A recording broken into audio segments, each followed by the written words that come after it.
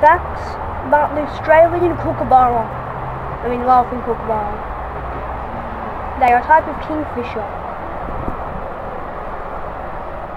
Kookaburras are kingfishers, but they're a type of they're uh, called a tree kingfisher, which means they do not dive into the water like a normal kingfisher, and those actually, well, most kingfishers aren't actually like a normal kingfisher.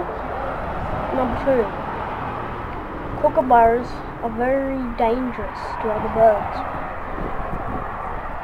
They are carnivores and are quite dangerous to other birds that are smaller than them. Number two, or number three. Kookaburras are my favorite bird. Number four.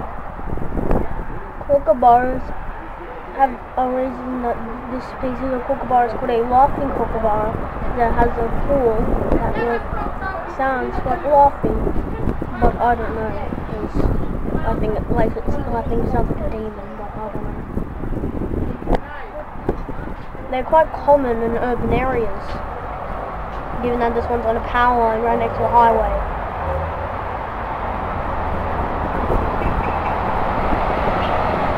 This is my first fact video. Kookaburras are, can fly very well. A kookaburra diet is made up of insects, other birds, straight meat, and all other sort of meaty things.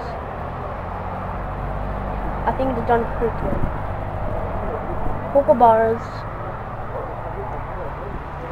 are native to Australia and Papua New Guinea.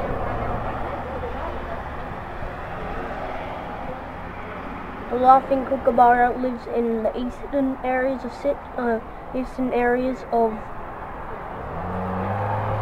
Australia. The blue-winged kookaburra is more northways. I do not know about the other two species of kookaburra as I do not know very much about them because they don't live where I live. I do not live in where blue kookaburras live, but they're close enough to a little laughing kookaburra that I should notice now. Kookaburras, if you look at them, you might realize that they have some nice, like a beautiful blue on them.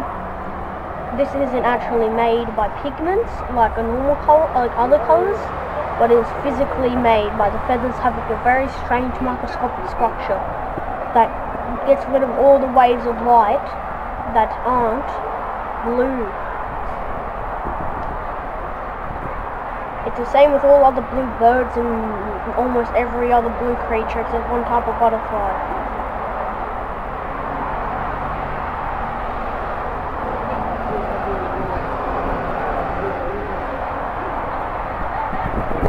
that is all and enjoy a second while I turn my camera off. Stop